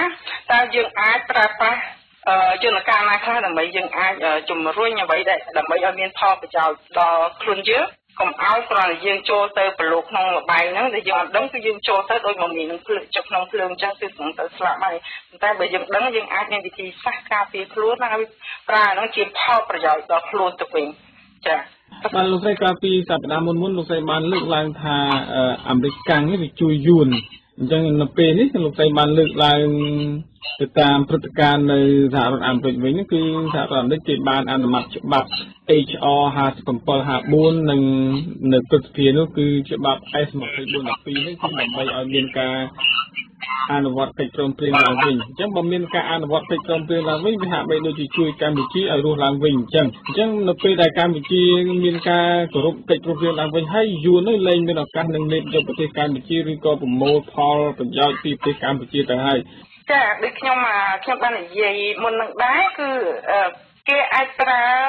កិច្ចព្រមព្រៀងទីក្រុងប៉ារីសគ្រាន់តែជាយុទ្ធសាស្ត្រនៅមួយនៅក្នុងសង្គ្រាមដោយសារចិនគេដឹងថាចិនជារបស់ប្រទេសផ្ដាច់ ចូលមកដល់រំលោភបំពានដូចថាមានការរំលោភបំពានសិទ្ធិមនុស្សអត់មានប្រជាធិបតេយ្យជាប្រទេសផ្ដាច់ការកុម្មុយនីអីជាដើមហ្នឹងអញ្ចឹងគេអាចប្រើហ្នឹងជាអាវុធគ្រាន់តែជាអាវុធប៉ុន្តែមិនមែនជាទិសដៅរបស់គេជាយុទ្ធសាស្ត្រក្នុងសង្គ្រាមអញ្ចឹងខ្ញុំមិនដឹងថាតើអាចយល់បានឬអត់ទេប៉ុន្តែអាហ្នឹងគឺជា យុទ្ធសាស្ត្រមួយនៅក្នុងសង្គ្រាមគេអាចប្រើជាមួយសត្រូវរបស់គេគេប្រើប៉ុន្តែមិនមែនទិសដៅអ្វីដែលគេចង់បានទេអ្វីដែលយើងចង់ធ្វើគឺយើងចង់ប្រើហ្នឹងដើម្បីទិសដៅរបស់យើងមែនទែន សំបីពួកខាងជួនក៏ដោយក៏គេអាចប្រើរបៀបអញ្ចឹងដែរនៅខាងពួកគុណដែលគេរៀបចំក្រុមថ្មីគេអាចនិយាយអញ្ចឹងដែរគេអាចនិយាយថាការអនុវត្តអញ្ចឹងដែរប៉ុន្តែមែនទែនគេជាអនុវត្តទេគេរំលោភបំពានថែមទៀតគេគាត់មកប្រើដើម្បីជីកទៅតាតើតែពលរដ្ឋខ្មែរនឹងថាអ្វីទៅគេប្រើជាយុទ្ធសាស្ត្រឬក៏ប្រើមែនទែនគឺមានគោលការណ៍មានគោលការណ៍មានយន្តការមានច្បាប់អនុសញ្ញាអីទាំងអស់ដើម្បីធ្វើម៉េចឲ្យកិច្ចព្រមព្រៀងអនុវត្តបានមិនមែនគ្រាន់តែនិយាយអនុវត្តអនុវត្តហើយអត់មានអីទាំងអស់ រំលោភបំពានដដែលអញ្ចឹងទាំងអស់ហ្នឹងយើងត្រូវតតពលរដ្ឋខ្មែរយល់ហើយត្រូវទៀមទាមែនតើដើម្បីឲ្យមានការអនុវត្តពិតប្រាកដមិនមែនទឹកគ្រាន់តែជាយុទ្ធសាស្ត្រនៅក្នុងសង្គ្រាមទេចា៎បាទលោកស្រីប្រសិនបើកម្ពុជានៅថ្ងៃណាមួយយើងអាចគិតចេញពីអន្ទាក់របស់បរទេសមានចិនមានយួនហ្នឹង ថាតើយើងគួរតែប្តឹងទៅស្ថាប័នណាមួយនៅលើពិភពលោកដើម្បីទាមទារអ្វីដែលយើងបានបាត់បង់ខាតបង់ទាំងធនធានធម្មជាតិទាំងអាយុជីវិតប្រជាពលរដ្ឋប្រជាជនយើងហ្នឹងបាទចាអឺអ្វីសំខាន់ដែលយើងចង់បានហ្នឹងគឺការអនុវត្តអ្វីដែលបានចុះហត្ថលេខាជាមួយយើងហើយហ្នឹងសំខាន់ណាស់ព្រោះនៅក្នុងកិច្ចព្រមព្រៀងទីក្រុងប៉ារីសហ្នឹងគេមានកិច្ចព្រមព្រៀង3សំខាន់សំខាន់ កិច្ចព្រមព្រៀងទី1គឺដោះស្រាយបញ្ហានយោបាយនៅកម្ពុជារបៀបបោះឆ្នោតរបៀបអីហើយបញ្ហាទី2គឺកិច្ចព្រមព្រៀងទាក់ទងនឹងការអធិបតេយ្យការការពារគ្រប់សិទ្ធិមនុស្សហើយមានការធានាពីពួកម្ចាស់ហត្ថលេខីហើយនៅក្នុងកិច្ចព្រមព្រៀងទី3គឺប្រទេសដែលចុះនៅក្នុងកិច្ចព្រមព្រៀងទាំងអស់ហ្នឹងសន្យាថានឹងជួយស្ដារសេដ្ឋកិច្ចកម្ពុជាហើយនឹងជួយទាំងសិទ្ធិសេរីភាពទាំងអីទាំងអស់ជួយនៅក្នុងនោះហើយបើសិនគេអនុវត្តទាំងអស់ហ្នឹង គឺយើងមានទាំងអស់ហើយសេដ្ឋកិច្ចស្អីស្អីហ្នឹងគេជួយយើងហើយការពីអធិបតេយ្យយើងមានអធិបតេយ្យមានអីអត់មានការរំលោភបំពានពីប្រទេសយួនណាមានការធានាពីគេអញ្ចឹងទាំងអស់ហ្នឹងគឺបានសម្រាប់គ្រប់គ្រាន់ហើយសម្រាប់ពលរដ្ឋខ្មែរហើយគ្រាន់តែរហូតដល់ឥឡូវហ្នឹងតាំងពីគេចុះកិច្ចព្រមព្រៀងមកវាអត់មានអនុវត្តប្រទេសទាំងអស់នាំគ្នានិយាយថាកិច្ចព្រមព្រៀងព្រមព្រៀងមិនតែរំលោភបំពានទាំងអស់ហើយគេចូលថាហ៊ុនសែនមួយតែមិនមែនតែហ៊ុនសែនមួយដែលរំលោភទាំងអស់គ្នារំលោភ សំបីកិច្ចព្រមព្រៀងតាក់ទងរឿងការស្ដារកម្ពុជាហ្នឹងយើងមានឃើញការអនុគ្រោះពន្ធនៅសភាអឺរ៉ុបហើយនឹងការបើកទីផ្សារមួយដែលនៅនៅខាងអាមេរិកអីជាដើមហ្នឹងដែលគេអនុគ្រោះឲ្យកម្ពុជាមិនយកពន្ធដារអីចឹងហើយសំបីគេការនាំតំណែងទាំងកសិកម្មទាំងស្អីស្អីទាំងអស់ហ្នឹងក៏គេជួយដែរអញ្ចឹងគាត់ថារហូតដល់ឥឡូវហ្នឹងយើងឃើញថាសំបីកកអនុគ្រោះពន្ធ រហូតដល់ឥឡូវហ្នឹងពលរដ្ឋខ្មែរអត់បានទទួលទេយើងឃើញគាត់ថាមានរោងចក្រកាត់ដេរពលរដ្ឋខ្មែរបានទទួលបានមានការងារធ្វើបន្តិចបន្តួចហ្នឹងហើយប្រាក់ខែទៀតទៅទៀតប៉ុន្តែសិលក្រុមហ៊ុនហ្នឹងសិតតែក្រុមហ៊ុនមកពួកបរទេសដែលគេបានចំណេញហើយនឹងពួកដែលកាន់អំណាចស្និទ្ធស្នាលជាមួយពួកបរទេសដែលនៅពីក្រោយពួកគេហ្នឹងទោះខាងចិនក្តីខាងយួនក្តីហើយយើងឃើញថាខ្ញុំមើលឃើញនៅក្នុងក្រុមហ៊ុនរបស់តុកគង់សុខគីមិចហ្នឹងស៊ីខ្លួនឯងចាក់ ច្រាស់យកពីស្រុកខ្មែរអត់អស់វាទៅសហការជាមួយពួកហុងកុងអីដាក់ឈ្មោះថាហុងកុងឯងប៉ុន្តែនៅពីក្រោយគឺពួកសុកគីមិចរបស់សុកគង់ហ្នឹងអញ្ចឹងយើងឃើញថាអានោះចាក់ចូលរឿងរោងចក្រកាត់ដេរហើយព័ត៌មានមួយចំនួនដែលយើងបានដឹងពីការរំលោភបំពានលើការអនុគ្រោះពន្ធហ្នឹង គឺយើងឃើញពួករោងចក្រកាត់ដេរហ្នឹងមិនមែនផលិតនៅស្រុកខ្មែរទេតាំងពីកណ្ដាលទាំងអីគេកាត់ស្រាច់ស្រាច់យកមកពីចិនយកមកពីយួនខ្មែរយើងក៏ដេរឬក៏ដាក់ឆ្លានទីទួយបានកណ្ដាលកាត់ទីទួយទេអត់បានទទួលពីការគ្រប់ប៉ុណ្្នឹងហើយយកមកលក់នៅនេះថ្លៃហើយ មានការពុករលួយគ្រប់ដំណាក់កាលអស់នៅក្នុងសភារបស់ក៏មានការពុករលួយតាក់ទងនឹងខាងគ្រប់ប៉ុណ្ណាហើយយើងបានលើកពីរឿងហ្នឹងយកទៅនិយាយជាមួយគេដែរនៅក្នុងសំណើផ្សេងៗរបស់យើងយើងបាននិយាយថាការអនុគ្រោះប៉ុណ្ណឹងគឺមានអំពើពុករលួយសំបីនៅអឺរ៉ុបក្តាប់អត់បានមានការត្រួតពិនិត្យថាក្រុមហ៊ុនហ្នឹងបានគោរពនៅកិច្ចសន្យារបស់គេឬទេហើយក្រុមហ៊ុនហ្នឹងបានធ្វើអ្វីខ្លះ ដូចថាមានការយកចូលពីប្រទេសផ្សេងៗតែដាក់នៅកម្ពុជាជាពិសេសពីប្រទេសយួនប្រទេសចិនជាដើមហើយចូលមកលុកនៅអឺរ៉ុបហ្នឹងយើងក្នុងនាមជាឈ្មោះខ្មែរអញ្ចឹងបានថាពពរដ្ឋខ្មែរអត់បានចំណេញទេការមិនអនុវត្តហ្នឹងគឺគ្រប់កម្រិតទាំងអស់តាំងពីសិទ្ធិសេរីភាពតាំងពីទឹកដីតាំងពីប្រទេសជាតិតាំងពីស្អីរហូតដល់សេដ្ឋកិច្ចហើយសេដ្ឋកិច្ចតាំងពីការអនុគ្រោះពន្ធក៏គេស៊ីលើ ហើយនៅក្នុងប្រទេសគេព្រមទាំងអស់តាំងពីធនធានទឹកដីហាសេដ្ឋកិច្ចហ្នឹងពួកចាស់ពួកយល់វាចែកគ្នាយកតាមទឹកខ្មែរបាយទាំងអស់ដូច្នេះធ្ងន់ធ្ងរយើងមិនបាច់ជឿសំឡងអីទៀតសំអ្វីដែលចិនហើយយួនប្លន់ហើយពួកផ្សេងផ្សេងទៀតដែលរំលោភបំពានកិច្ចព្រមព្រៀងប្លន់វារាប់សែនរាប់ពាន់លានដុល្លារមួយឆ្នាំមួយឆ្នាំពិសេសវាច្រើនមែនទែនបើសិនយើង អាចយកលុយទាំងអស់ហ្នឹងយកមកគ្រប់គ្រងការរស់នៅរបស់ខ្មែរគឺយើងគ្មានសំឡងអីខុសនឹងអាចបានទេចាហ្នឹងជារឿងមួយអញ្ចឹងបានយើងទាមទារការអនុវត្តគ្រប់កម្រិតទាំងអស់មិនថាតែរដ្ឋាភិបាលហ៊ុនសែនមិនថាតែពួកអន្តរជាតិពួកប្រឆាំងគឺយើងចង់ឲ្យមានការអនុវត្តហើយជាពិសេសគឺបពប្រឆាំងយើងចង់ឲ្យមានការ ធ្វើការតស៊ូលើមូលដ្ឋាននឹងប៉ុន្តែ25ឆ្នាំចូលរួមរំលោភបំពានបោកប្រាស់អញ្ចឹងខ្ញុំអត់មានសង្ឃឹមលើលើពួកគេទេនិយាយទៅយើងមិនដែលជឿក៏មិនមានសង្ឃឹមដែរព្រោះបើគេចង់ធ្វើ25ឆ្នាំគេធ្វើហើយចា៎បាទលោកស្រីត្រង់ចំណុចណាដែលលោកស្រីហ៊ានអះអាងថាបពប្រឆាំងនឹងចូលរួមមិនគោរពកិច្ចព្រមព្រៀងចូលរួមបំផ្លាញកិច្ចព្រមព្រៀង23ដុល្លារដែរបាទចានៅក្នុងចំណុចសំខាន់មួយដែលជាចំណុចធំបំផុត គឺការដែលពួកគេចូលរួមការបោះឆ្នោតមួយ ដែលមិនគោរពលក្ខខណ្ឌនៃកិច្ចព្រមព្រៀងទីក្រុងប៉ារីស23ដុល្លារអានឹងជាការរំលោភមួយធ្ងន់ធ្ងរហើយជាពិសេសទៅទៀតយើងឃើញពួកគាត់ហ្នឹងអត់មានធ្វើគោលការណ៍តស៊ូនយោបាយលើមូលដ្ឋាននៃកិច្ចព្រមព្រៀងក្រុងប៉ារីសទេពួកគាត់គ្រាន់តែនិយាយប៉ុន្តែពួកគាត់អត់ណា ធ្វើគោលការណ៍នយោបាយកម្មវិធីនយោបាយគឺពួកគាត់អត់មានហើយអត់បើថាមានហើយក៏បើមិនត្រឹមតែមានទេធម្មតាបើសិនពួកគាត់ចង់អនុវត្តមានហើយកម្មវិធីនយោបាយហ្នឹងគោលការណ៍ត្រូវតែយកតាមកិច្ចព្រមព្រៀងកុងប៉ារីមានការគោរពសិទ្ធិមនុស្សវិជាធិបតេយ្យត្រូវអនុវត្តមិនការគោរពសិទ្ធិមនុស្សត្រូវត្រូវអនុវត្តមិនមែនលើមាត់របស់គាត់ទេប៉ុន្តែលើគោលការណ៍និងមានយន្តការច្បាស់លាស់ដើម្បីអនុវត្តគោលការណ៍ហ្នឹងតែចឹងឃើញអត់មានអត់ដែលមានទាំងអស់ហើយពួកគាត់ថាពួកគាត់ចង់អនុវត្តអត់អនុវត្តអត់អាចលើមាត់បានទេហើយជាពិសេសយើងតកតងរឿងវិជាធិបតេយ្យយើងឃើញថា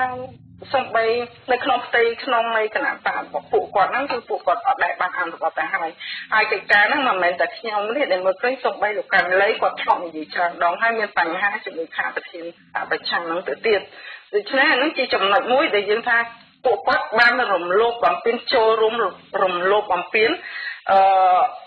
ធនធមបំផុតទៅលើមូលដ្ឋាននៃកិច្ចព្រមព្រៀងកុងប៉ារីសនៅលើចំណុចហ្នឹងចូលទៅទៅបោះឆ្នោត អត់គោរពកិច្ចព្រមព្រៀងកុងប៉ារីសអត់មានប្រជាធិបតេយ្យមានប្រជាធិបតេយ្យតែមាត់ដូចគ្នាហ៊ុនសែនហើយហ៊ុនសែនច្បាប់លើមាត់ពួកគាត់ជាធិបតេយ្យក៏មាត់សិទ្ធិនឹងក៏លើមាត់ហើយ23ដុល្លារក៏លើតែមាត់ដូចគ្នាអញ្ចឹងមានថាអត់មានខុសអ្វីទាំងអស់ហើយអ្វីដែលគាត់ចូលរួមហ្នឹងវាជាយន្តការអាណានិគមដូចខ្ញុំនិយាយមុនហ្នឹងវាជាយន្តការអាណានិគមតែគេចង់ឲ្យធ្វើអញ្ចឹងដើម្បីមានឱកាសគេរៀបចំអាណានិគមគេបានសម្រេចឥឡូវបានសម្រេចហើយ បានលោកស្រីថាតើឲ្យពួកប្រឆាំងគណៈបកប្រឆាំងហ្នឹងចូលរួមគ្រប់កិច្ចព្រមព្រៀងឬក៏ដើរតាមកិច្ចព្រមព្រៀងយ៉ាងម៉េចបើការពីថ្ងៃទី23តុលា91នៅឯទីក្រុងប៉ារីសហ្នឹងពួកគាត់មិនមែនជាភាគីចំនួនទាំង4ហ្នឹងផងហ្នឹងហើយអញ្ចឹងទៅដាក់បន្ទុកលើគាត់ឲ្យគាត់គោរពឲ្យគាត់អីដូចជាយ៉ាងម៉េចដែរលោកស្រីចាន់មុននេះត្រង់ចំណុចនេះបាទចា គោរពកិច្ចព្រមព្រៀងក្នុងប៉ារីសថាម៉េចជាអ្វីមិនមែនគ្រាន់តែភាគីដែលចូលរួមនឹងទេដែលបានចុះហត្ថលេខានោះទេភាគីកម្ពុជាលោកសំរងស៊ីគាត់នៅក្នុងគណៈបកមួយគឺគណៈបករបស់ខាងសុនស៊ីពេចដែរគាត់ជាអតីតមន្ត្រីនៅក្នុងគណៈបកសុនគណៈបកហ្នឹងគឺគណៈបកដែលបានចុះហត្ថលេខាលើកិច្ចព្រមព្រៀងកុងប៉ារីសហើយគាត់ហ្នឹងក៏ជាមន្ត្រីសំខាន់ដែរនៅក្នុងគុំស៊ីពេច ហើយអាហ្នឹងជាចំណុចមួយបើថាគាត់អត់ដឹងគាត់អត់បានស្គាល់រឿងថាបានចុះហត្ថលេខាមិនមែនជាបាត់មានជាប់ចុះហត្ថលេខាគាត់នៅក្នុងក្រុមហ្នឹងហើយប៉ុន្តែសូម្បីមិនមែនក្រុមហ្នឹងក៏ពលរដ្ឋខ្មែរទាំងអស់ត្រូវតែទៀមទាត្រូវតែគោរពដូចគ្នាពីក្រុមព្រៀងកំប៉ារីសដូចជាគម្ពីរចឹងមិនថាចាំបាច់អ្នកចុះហត្ថលេខាមិនគ្រប់ទាំងអស់គេធ្វើសម្រាប់គោរពនៅក្នុងលើពលរដ្ឋខ្មែរទាំងអស់គោរពសិទ្ធិសេរីភាពស្អីស្អីពួកគាត់អ្នកទៀមទា ហើយបើសិនអត់មានការគោរពពួកគាត់ត្រូវមានសិទ្ធិទាមទារព្រោះអាហ្នឹងគេបានប្រគល់ឲ្យពលរដ្ឋខ្មែរតែបើសិនពួកហ្នឹងរំលោភបំពានគឺពួកគាត់មានសិទ្ធិនៅក្នុងការទាមទារតវ៉ាគាត់ថាដើម្បីឲ្យមានការកត់ប្រជុំលើការរំលោភបំពានហ្នឹងគេបានសរសេរនៅក្នុងកិច្ចព្រមព្រៀងទី2គេថាតើតែហត្ថលេខីណាមួយឬពិធីណាមួយស្មើទៅប៉ុន្តែអានឹងទៀតយើងឃើញថាគណៈបកប្រឆាំងបានធ្វើកិច្ចការមួយចំនួនជាមួយខាងពួកខាងប្រចាំប្រទេសខាងអាមេរិកជាដើមអីណា គឺពួកគាត់អាចសហការនៅដើម្បីជំរុញទៅមិនឲ្យអាមេរិកវាចង់បានការអនុវត្តឲ្យគេអនុវត្តទៅឲ្យគេធ្វើឲ្យស្នើស្នើព្រោះឥឡូវហ្នឹងរំលោភបំពានជាក់ស្ដែងរំលោភបំពានរហូតដល់មានការបណ្ដឹងទៅតុលាការសិទ្ធិកម្មអន្តរជាតិស្ដីពីការឧក្រិដ្ឋកម្មប្រឆាំងនឹងមនុស្សជាតិហើយសិទ្ធិកម្មដែលធ្វើខ្មែរដូចខ្ញុំនិយាយក្នុងលើកមុនទោះពួកគាត់អត់កម្មហោឈាមតាកាយសាហាវនៅក្នុងសង្គ្រាមក៏ដោយប៉ុន្តែគាត់រស់នៅគេសម្រាប់ឈាមរាល់ថ្ងៃគឺខ្សោះខ្លួនហើយរស់នៅសម្រាប់ប្រដួភាកច្រើន តកតងរឿងភាពក្រីក្រគឺលោកកែមលីក៏ធ្លាប់បាននិយាយជាង80%រស់ជុំវិញបន្តក្រីក្ររស់នៅសុបាអ្នកដែលគេអាចរស់នៅវិថាធូធាស្អីមានលុយចាយតាមចិត្តហ្នឹងតតែពួកប្រហែលជា4-5%ទៅនៅខាងលើប៉ុន្តែ70 80%រួមនៅក្នុងសេចក្តីត្រូវការជាប្រចាំហើយជាពិសេសគឺតែពួកគាត់អត់មានជំនួយអ្វីទាំងអស់ សូម្បីខ្ញុំឃើញដូចនៅតាមភូមិជនបទដាច់ស្រយាលអីជាដើមហ្នឹងគឺសូម្បីគាត់រស់នៅក្នុងខ្ទមរយៈរយៈខ្ញុំឃើញច្រើនណានៅក្នុងករណីបែបហ្នឹងគឺច្រើនមែនទែនមិនមែនតិចទេហើយអញ្ចឹងបែរថា ការរស់នៅរបស់ពលរដ្ឋខ្មែរពួកអត់សង្គ្រាមក៏ដោយគឺវិធានាខ្លាំងមែនទែនហើយជាពិសេសយើងឃើញពលរដ្ឋចំណាក់ស្រុកជាដើមហ្នឹងហើយក៏នឹងពលរដ្ឋដែលត្រូវគេរំលោភបំពានដីធ្លីដុតផ្ទះគាត់យកដីគាត់បណ្ដេញគាត់ចេញពីដីដែលគាត់ធ្លាប់រស់នៅយើងឃើញថាពួកគាត់រស់នៅរបៀបជាជនជាខ្លួនយើងឃើញអត់មានសង្គ្រាមទេមក20ជាង20 30ឆ្នាំហ្នឹងក្រោយតែកំពុងកំប៉ារីប៉ុន្តែពលរដ្ឋខ្មែរនៅរស់នៅរបៀបជាជាមនុស្សរស់នៅក្នុងសង្គ្រាមខ្ញុំ ខ្ញុំឃើញវីដេអូមួយចំនួន ដែលពលករចំណាក់ស្រុកគាត់រត់ទៅធ្វើការគេចាប់ធ្វើបានធ្វើអីណាចង់ដេញចាប់ដេញអីឲ្យឃើញពួកគាត់ស្ទាយមកវិញចុះឡើងចុះឡើងគឺមើលតែដូចក្នុងសង្គ្រាមតែបិទទោះអត់មានសង្គ្រាមក៏ដោយចា៎បាទ លោកស្រីបានលើកឡើងហើយថាប្រសិនបើខ្មែរមិនចេះចាត់យកឱកាសពីយកផលប្រយោជន៍ពីច្បាប់របស់សហរដ្ឋអាមេរិកគឺច្បាប់ HR 5754និងច្បាប់នៅព្រឹទ្ធសភា S2412 នឹងទេកម្ពុជានៅតែមានបញ្ហាដដែលហើយច្បាប់នោះគឺបង្កើតឡើងដើម្បីតែទប់ស្កាត់ឥទ្ធិពលចិននៅកម្ពុជាតែប៉ុណ្ណោះ អញ្ចឹងប្រសិនបើពលរដ្ឋខ្មែរនៅតែមិនយល់មិនដឹង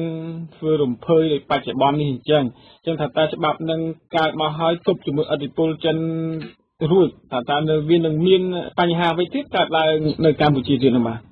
ហើយយើងឃើញថាបញ្ហាឥឡូវហ្នឹងគឺសហរដ្ឋអាមេរិកគេគ្រាន់តែយកថាគេធ្វើឲ្យមានរូបភាពសម្បកខ្មៅល្អព្រោះគេឃើញថា មកពីមានបញ្ហាទាំងអស់ហ្នឹងហើយបើថ្ងៃក្រោយទៅមានសង្គ្រាមមានអីគេថាគេបានព្យាយាមរកវិធីសាស្ត្រនៅក្នុងការទប់ស្កាត់មួយចំនួនអញ្ចឹងជាជារូបភាពមួយដែលគេចង់បង្ហាញព្រោះគេតាំងខ្លួនគេជាប្រទេសលទ្ធិជាធិបតេយ្យអញ្ចឹងមានការគ្រប់សិទ្ធិមនុស្សដូច្នេះមុននឹងមានអ្វីកើតឡើងគេចេះបាក់គេចង់បង្ហាញថាគេបានធ្វើអ្វីមួយចំនួនហើយហើយវាអត់ទៅរួចអញ្ចឹងបានវាដល់ដំណាក់កាលណាមួយអញ្ចឹងទៅ ដូច្នេះវាវាជាយុទ្ធសាស្ត្រមួយដែលគេប្រើជារបៀបរបស់ពួកប្រចាំប្រទេសដែលគេធ្វើអញ្ចឹងមុននឹងមានសង្គ្រាមមួយដើម្បីកុំឲ្យមានការទទួលខុសត្រូវធ្ងន់ធ្ងរបើសិនជាមានការសម្លាប់រំគាលអីអញ្ចឹងគេថាគេបានធ្វើគេបានរកវិធីសាស្ត្រមួយចំនួនដើម្បីទប់ស្កាត់ជាពិសេសអឺនៅប្រហែលថ្ងៃគឺយើងឃើញថាគួរឲ្យចាក់មានទៅមានការព្រួយបារម្ភជាខ្លាំងយើងឃើញថាអឺខ្ញុំបានឃើញកសែតមួយដែលគេបានចុះថាពួក ការបរទេសរបស់យួនបានអញ្ជើញលោកប្រខុនទៅជួបហើយនិយាយពីសហប្រតិបត្តិការគ្រប់វិស័យហើយជាពិសេសគេសង្កត់ធ្ងន់ថាគេមិនអាចអនុញ្ញាតឲ្យមានកម្លាំងអមិត្តមានមូលដ្ឋានស្អីនៅលើកម្ពុជាអត់មានការធ្វើអញ្ចឹងបើសិនជាគេសុខចិត្តសហការជាមួយកម្ពុជាដើម្បីទប់ទល់ជាមួយកម្លាំងអមិត្តដែលចង់មានមូលដ្ឋាននៅស្រុកខ្មែរហើយបង្កបញ្ហា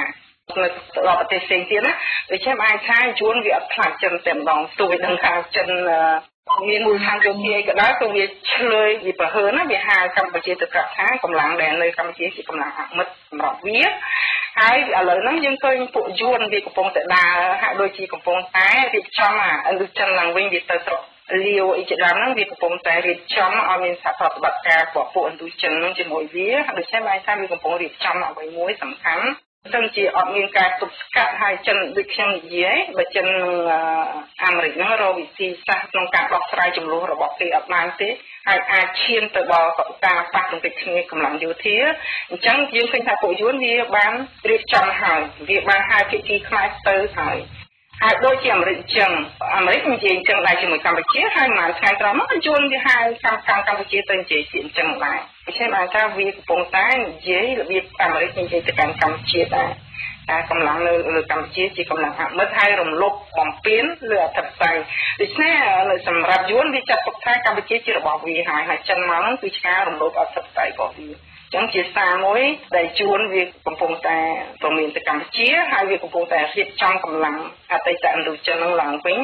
ដើម្បីបើថាមានការអីគឺវាសហការគ្នានៅក្នុងការទប់ស្កាត់ជាមួយចិនអាហ្នឹងនៅក្នុងរូបភាពមួយយើងមើលឃើញចាហើយដោយសារតែលោកស្រីបានលើកឡើងហើយជាក់ទងទៅនឹងភូមិសាស្ត្រនយោបាយនៅក្នុងតំបន់ជាកម្ពុជាហ្នឹងគឺសូម្បីតែមហាអំណាចដែលខ្មែរយើងគោរព សឹងតែបត់ជើងថ្វាយគុំហើយគឺសហរដ្ឋអាមេរិកដែលហៅថាបៃតាប្រជាធិបតេយ្យហ្នឹងក៏យើងមិនអាចទុកចិត្តបានដែរពីព្រោះអ្វីអ្វីគេធ្វើឡើងគឺដើម្បីតែបំរើឲ្យផលប្រយោជន៍ប្រទេសគេទេហើយអញ្ចឹង យើងងាកមករកទ្រឹស្ដីដែលប្រពុតបានលើកឡើងគឺមុននឹងឲ្យគេជួយគឺយើងត្រូវតែជួយខ្លួនឯងមុនអញ្ចឹងខ្មែរគ្មានអ្វីក្រៅពីខ្លួនទីពឹងខ្លួនខ្លួនជួយខ្លួនឯងនឹងទេលោកស្រីថាតើប្រជាប្រដ្ឋកម្ពុជាណាត្រូវធ្វើយ៉ាងម៉េចដើម្បីកិច្ចអផុតពីសង្គ្រាមត្រជាក់នៅកម្ពុជាដើម្បីបញ្ចប់ភាពវិនាសកម្មបន្តទៀតបញ្ចប់ភាពវិនាសកម្មផ្សេងផ្សេងមានជាទ្រព្យសម្បត្តិធនធានធម្មជាតិអីហ្នឹងបាទ ចាដូចខ្ញុំបាននិយាយអញ្ចឹងយើងជាប្រទេសតូចខ្សោយហើយមិនអញ្ចឹងឲ្យឆ្លងកាត់វិនិស្សកម្មការបលាយពូជសាសន៍សង្គ្រាមហើយក្នុងសង្គ្រាមនិងការបលាយពូជសាសន៍គឺពួកឆ្លៀនពៀនពួកបរទេសហ្នឹងដែលវាជាអ្នកគ្រប់គ្រងក្រោយចលនាផ្សេងផ្សេងហ្នឹងវាសម្លាប់អ្នកចេះដឹងខ្មែរស្ទើរតែអស់សូម្បីតែពូជអ្នកតស៊ូក៏វាសម្លាប់ដែរដើម្បីទុកឲ្យដូចថាទុកឲ្យនៅក្នុងភាពមួយដែលយើងនៅក្នុងអវិជ្ជា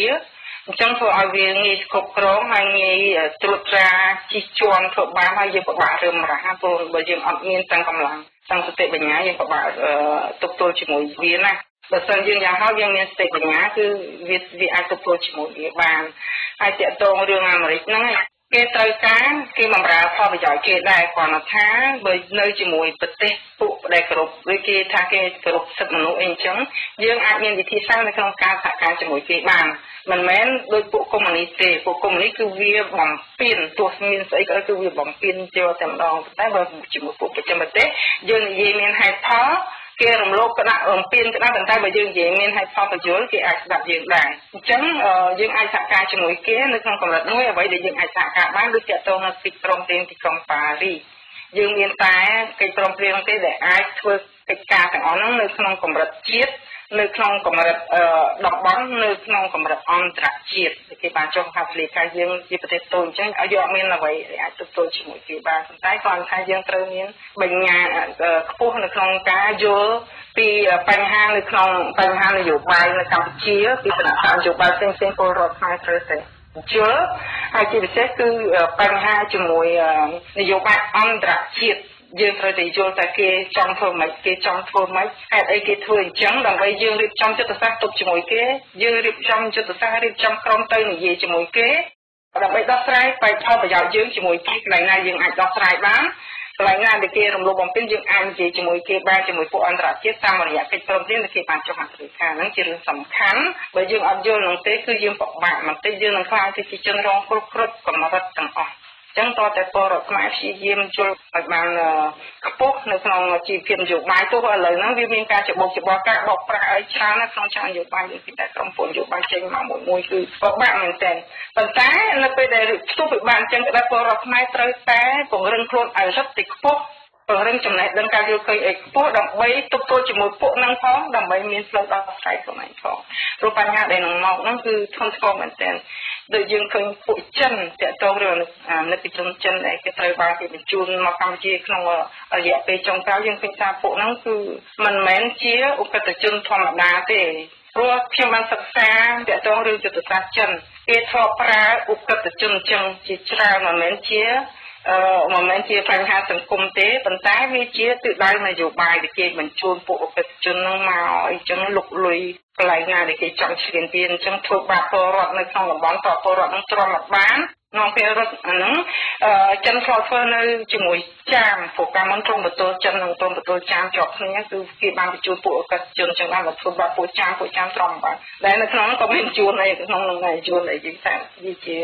ពួកចិនដែរតែជាក្រុមអកិតជនដែលធ្លាប់ចិនបញ្ជូនមកឲ្យធ្វើបាបពួកចាមសម្រាប់ពួកចាមមកវាកម្មកាយស្អីស្អីសពយ៉ាងទាំងអស់ កាប់ចាក់កំកាយវាសម្រាប់មនុស្សមិនមែនដូចជាពលរដ្ឋចាមឬខ្មែរតាមដែលមានវប្បធម៌មួយទុនធ្លុនអត់ខ្លាចបាបខ្លាចអីចឹងហើយជាមួយពួកកាប់ចាក់សម្រាប់មនុស្ស យកស្លាមយកប្រមាត់អញ្ចឹងគឺគឺពិបាកទប់ទល់អញ្ចឹងដូច្នេះអ្វីដែលកើតនៅកម្ពុជាគឺជាព្រឹកមួយដែលព្រួយបារម្ភមែនទែនព្រោះយើងឃើញពួកចិនដែលបញ្ជូនមកនោះភាគច្រើនមិនមែនចិនរ៉ូស៊ីដើម្បីមកឲ្យសិក្សានៅក្នុងប្រទេសយើងទេយើងឃើញភាគច្រើនពួកជួញដូរគ្រឿងញៀនជួញដូរមនុស្សចម្រិតមនុស្ស ហើយមិនចឹងមានក្រុមសម្លាប់យកសរីរាង្គលក់ទៀតនេះជារឿងក្តីបារម្ភមួយរបស់ខ្ញុំផ្ទាល់តែម្ដងព្រោះយើងដឹងថាពួកចិនហ្នឹងជាប្រទេសមួយដែលត្រូវការសរីរាង្គខ្ពស់ហើយអញ្ចឹងនៅកម្ពុជាយើងឃើញកូនខ្មែរអនាថាទៅស្អីច្រើនមនុស្សអនាថាអត់មានអីអញ្ចឹងយើងឃើញថាអាចងាយនឹងគេសម្លាប់ហើយយកគ្រឿងក្នុងយកយកទៅលក់ដូរនៅក្នុងទីផ្សារអីអញ្ចឹងគឺយើងឃើញគួរ ភាពខុសខើហ្នឹងគឺ